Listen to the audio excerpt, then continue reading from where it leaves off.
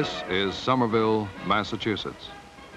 Although incorporated as a city in 1871, this area was first settled in 1630, only 10 years after the Pilgrims first landed. Now it is one of the independent municipal spokes radiating from the Boston hub, a center of a network of highways and railroads reaching all New England, a major residential community, an industrial focal point of the Commonwealth. Because of its definitely residential character, self-rule prized in Somerville. It is this love for self-government that gives the city its vigor and its virility. A city rich in heritage, steeped in tradition, vigorous in daily life, and confident in its future. This is Somerville. This is your city. Almost four years ago, the people of Somerville elected as their mayor a dedicated, sincere businessman, a man who had pledged an administration for the people. It is now time to look over his record, his record of promises, and his record of action. Let's start with his inaugural address.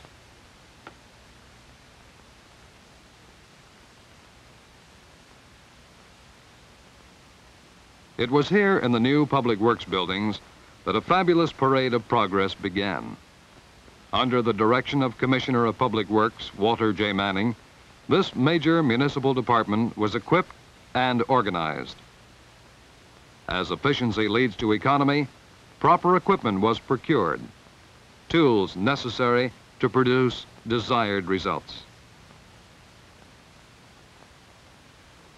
Office installations were set up and many necessary facilities were installed, such as modern ticket printing gasoline pumps and large storage tanks. Once a hollow shell, this building is now incorporating some of the finest machinery designed for community progress. A steam cleaning unit was installed, complete with steam generator. The paint shop has repainted 38 trucks and a variety of other equipment, ranging from police boxes to traffic and street signs. The building has a complete modern electrical system, individual services for each department, and protected by a standby generator in the event of power failures.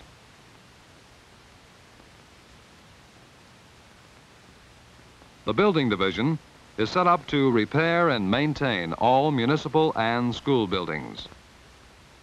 Band saws, circular saws, surface and thickness planers, and a variety of other equipment had to be obtained to do the job better at a smaller cost. Valuable additions to the Public Works Department were the two Hough payloaders purchased by the Donovan administration. These machines are extremely versatile, designed to accomplish many types of work, ranging from excavation to the handling of sand and gravel and allied operations such as snow removal. Of primary importance in the proper maintenance of equipment is proper lubrication. The city's new department is completely equipped to handle the lubrication of all city-owned equipment. Other necessary additions to the Public Works Department included a truck-mounted air compressor, a modern hydraulic cleaning machine for catch basins, two new international dump trucks, and a trailer-mounted air compressor.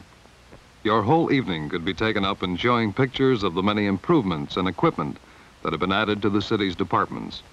But only the highlights of activity which has characterized the Donovan administration and the need that dictated such activity shall be shown. The condition of some of our rolling stock was especially critical in the sanitary department. To tolerate conditions and practices which could possibly jeopardize the physical well-being of the people is to violate the trust placed in an administration by the electorate. The old sanitary trucks were not only dilapidated in appearance, but were most inefficient in operation and placed extreme hardships upon the employees. Dusts and cinders could not be controlled, and the streets of the city were sometimes more littered after the rubbish collection than before. Remember? The need for decisive action was apparent. The city government responded by purchasing 12 new load packer trucks. The cost of this fleet is made up in the savings realized in their operation. Only three men are now needed for each truck. The extra men in the sanitary division have been absorbed in other divisions of the public works to fill vacancies. Thus, a saving of 25% in manpower cost per truck.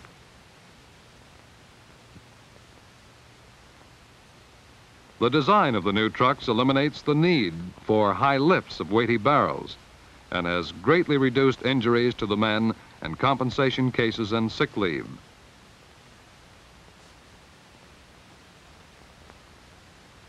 Three auxiliary units are maintained by the city to round out the efficient program of the sanitary division. These vehicles are used in narrow alleys and private ways and for bulky loads ranging from building debris to Christmas trees. This is practical progress. Somerville leads the nation in urban redevelopment. Through Mayor Donovan, Somerville was the first city in the nation to take advantage of federal aid to redevelop industrial areas and attract new businesses to the city. Structures such as these are being eliminated through the city's continuing program of neighborhood renewal. Buildings of this sort constitute a hazard to health and safety and a needless expenditure of public funds. Some 30 dilapidated buildings have already been razed. The redevelopment area is now ready for new industry. The combination of the city's own program of urban renewal together with urban redevelopment, properly administered, will return to the city millions of dollars of taxable property. Private industry has shown great confidence in Somerville by their unprecedented building programs. Swift & Company is investing millions of dollars in a plant modernization and expansion program. Cott rebuilt here, Statler Tissue has increased their plant facility. First National Stores expanded. And Ford has chosen its Somerville plant to assemble new Edsel cars. These are but a few examples of industrial expansion in Somerville during the last four years. This is practical progress.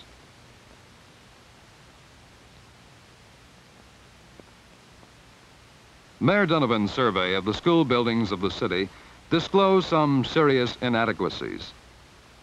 Classrooms, gyms, auditoriums, and other facilities were insufficient or outmoded in many important respects.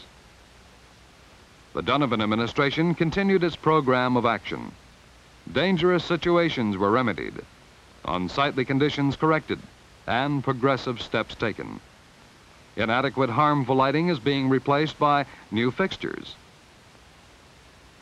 More than half the classrooms in the city have already been redecorated. Classrooms have been modernized. Many have new desks.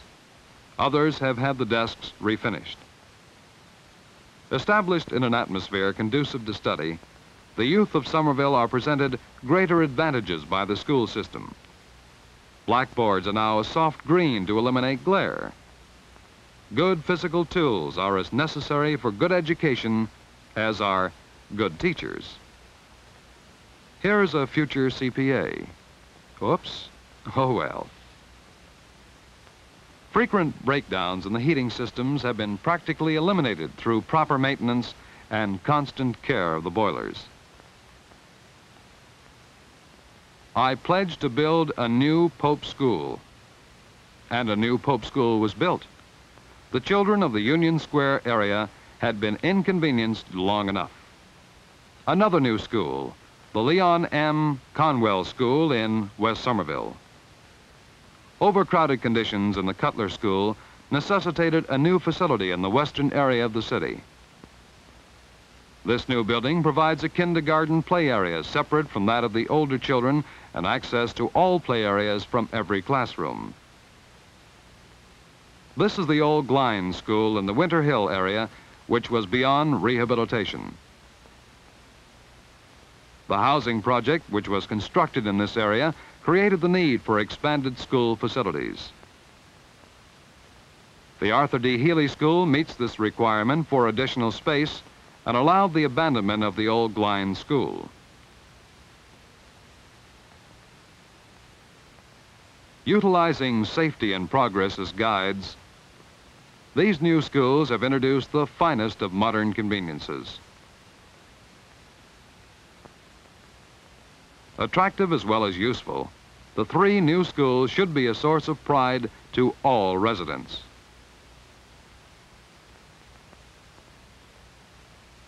Yes, three new schools and a new high school. As a result of two disastrous fires in the Somerville High School Central Building, the central section and many parts of the two wings of the school were rebuilt and modernized. Safety features were established, such as fireproof stairwells, complete new wiring, a new communication system, and teacher-controlled electrical laboratory equipment.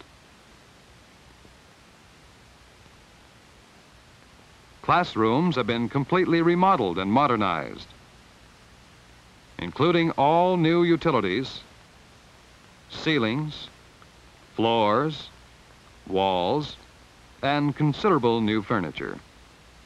The cafeteria and auditorium were also completely renovated and modernized.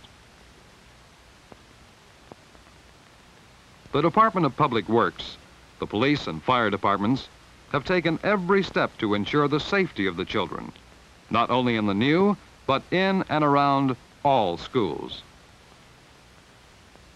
Mayor Donovan has also augmented the safety patrol system through the cooperation and leadership of Officer Kelly, who has a special assignment as school safety officer. Officer Kelly, a well-known personality to every school child, has developed the finest school safety patrol system in the state. This is practical progress.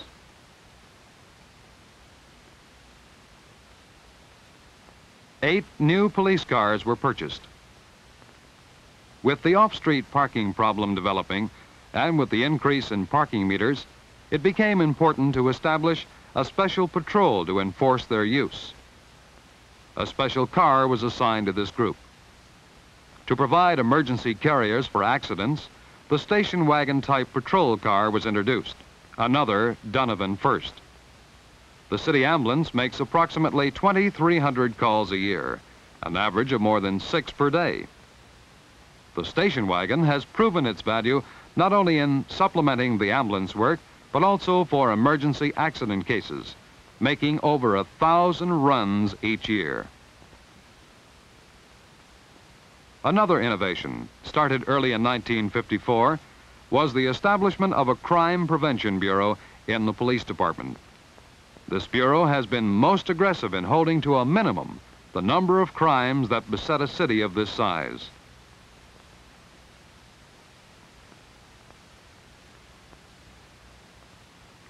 For the maximum protection of the homes and businesses of the city, new fire apparatus is imperative. A large percentage of the fire equipment of Somerville was outmoded and in sore need of replacement. With the advice and counsel of the fire chief, a program of replacement, modernization, and rehabilitation began. Once again, a pledge made four years ago by Mayor William J. Donovan became a reality.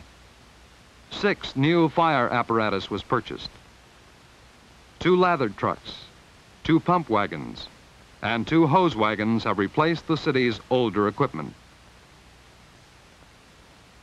Truly, these are the results of an administration of action, progress, and service to the people of Somerville. This is progress. This is practical progress.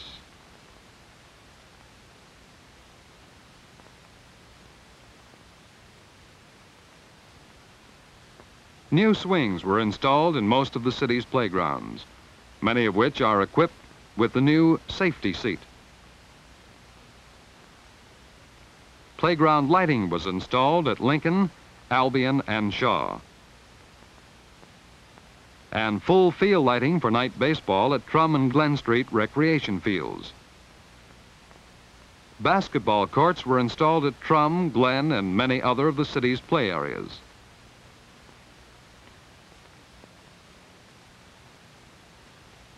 New Little League fields were established in eight of the 12 playgrounds.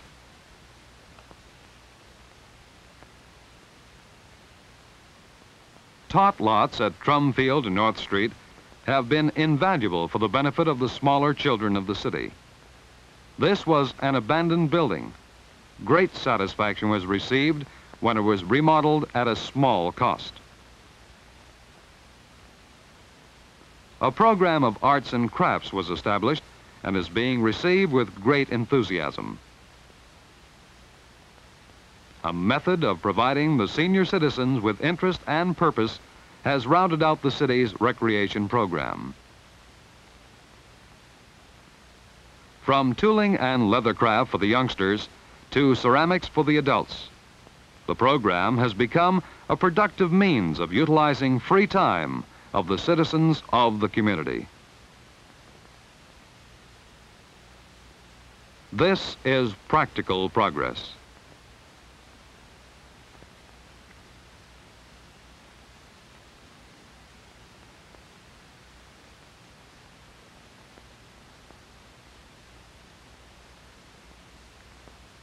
One of the major programs of the Public Works Department was the reconstruction and improvement of the city's streets. Reconstruction, not just resurfacing, was the byword. It would have been much simpler to have made the streets look safe, and the city government appeared to have accomplished much more by just resurfacing. But the job had to be done right. Curbstones, damaged and worn through years of service, had to be straightened. Corners were widened, providing still another safety feature for the citizens of the community. The city has suffered much from these unsightly conditions. These sidewalks were removed, and with them, many lawsuits against the city. And they were replaced by miles and miles of new sidewalks, most with concrete, some hot top. The sidewalk construction and repair program was stepped up in conjunction with the record road building project. Trouble with overhead electrical wires was kept to a minimum despite record winter freezes and storms due to the Highway Division's efficient tree topping program. In addition to the hundreds of trees which were trimmed of dead or loose branches and pruned away from wires throughout the city, many were topped to stump level and then completely removed. Emphasis in this program was placed in areas of highway and sidewalk reconstruction to ensure the work done on these projects would not have to be duplicated at a later date as a result of damages from dead and diseased trees and roots growing up through the streets and sidewalks. No unnecessary expense was incurred, but no dangerous situation was allowed to exist. This is practical progress, and practical progress includes safety. Nearly 100 new roads were constructed. State funds made available to the city enabled the Donovan administration to build these roads at a greatly reduced cost.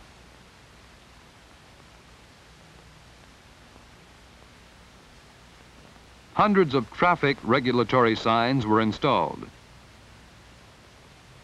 Traffic lights were added to the city's busiest intersections, providing visibility of signal despite large trucks and buses.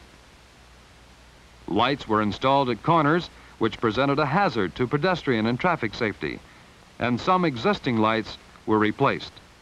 Others were set back from the curbs to avoid damage from the overhang of parking trucks. Five new parking areas. Prominent among the many new facilities introduced by the Department of Public Works are the off-street parking areas. A modern 62-car lot was constructed in Davis Square on the corner of Day and Herbert Streets. And, as a convenience to neighbors, its four mercury vapor lamps were timed to shut off at 11 p.m. To facilitate the use of this parking area, the one-way direction of traffic on Herbert Street was reversed, and the intersection of Chester and Herbert Street was recut for easier turning. Two non-revenue parking areas were constructed on city-owned land adjacent to firehouses. These areas are for the convenience of the citizens and greatly assisted the city during snowstorms and the cleaning of nearby streets. Work is now underway on a 90-car lot at Magoun Square, and attention is being given to plans for an off-street parking area in Union Square. The construction and cost and the maintenance of these parking areas is paid out of parking meter receipts. The street sweeping program of the city was stepped up. Three additional sweepers were added to promote the welfare of the citizens by the prompt, efficient removal of dirt and waste from the city streets. This is practical progress. The Donovan administration's projects also included the rebuilding of Prospect Hill Tower, the new lights in the Central Library, and the painting of the branch libraries. The new Flanagan Auditorium at Southern Junior High School. Somerville leads the nation again. A dream house for the aged, now being constructed on Highland Avenue. It will incorporate the finest facilities of a modern apartment house. The City Hall was painted. New lights were installed on Broadway. And a permanent memorial to those citizens who served in World War II was constructed. This is practical progress. Progress despite Hurricane Carol. Mayor Donovan had been in office but a few months when that devastating storm struck Somerville. Every municipal building was damaged. Roofs, chimneys, skylights, gutters, and downspouts all needed repair. Practically every street in the city was blocked. Progress despite Hurricane Edna. Eleven days later, another wave of destruction hit the city. Progress despite two major fires in the high school. The damage was so severe that the central building had to be closed. The roof had to be raised, and many of the classrooms were completely destroyed. The rebuilding of the central section and the two wings were so extensive that the city has virtually a new high school. Progress despite the St. Patrick Day blizzard and the storms that followed left 44 inches of snow in 23 days. Remember? Progress despite flash floods. Drains, sewers, gutters, and streets were damaged severely. There have been few periods in the history of the city that have been so disastrous.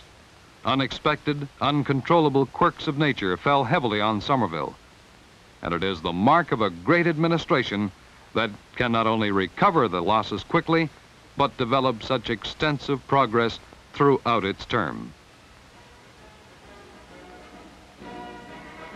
Almost four years ago, the people of Somerville elected as their mayor a dedicated, sincere businessman.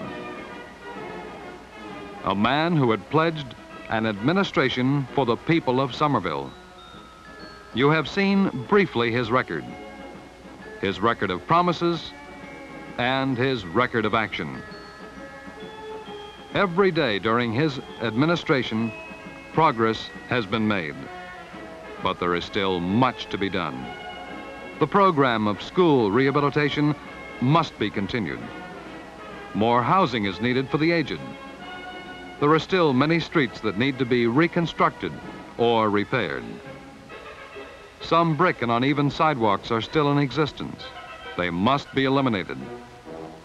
every effort must be made to protect our city against the loss of homes for road construction under the federal and state highway program. More new industry must be encouraged to come to Somerville. Proper public services and improvements must be judiciously planned within the city's financial ability to pay. How can we be sure that these objectives will be accomplished? By the re-election of Mayor William J. Donovan, a proven executive, a dedicated public official. With your help and that of your friends, he will be re-elected and the program of practical progress for Somerville will continue.